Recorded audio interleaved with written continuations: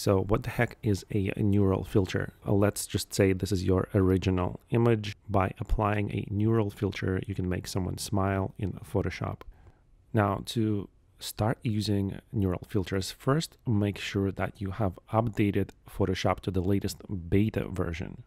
Once you've done that, you can go to filter and then go to neural filters. Okay, so you have this panel on the right hand side. Now I'm going to skip the tour and basically here you have a list of different filters. Smart portrait, makeup transfer. Wait, what the heck is that? Guys, we do live in strange times. I just wanted to make someone smile in Photoshop. Okay, here we have a landscape mixer, color transfer, and super zoom and things like that. So you have to download each filter. So let's say I want to do a super zoom.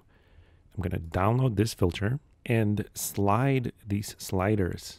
Okay. And of course, to actually use the zoom, you would use these zoom plus and minus buttons. So let's go ahead and zoom.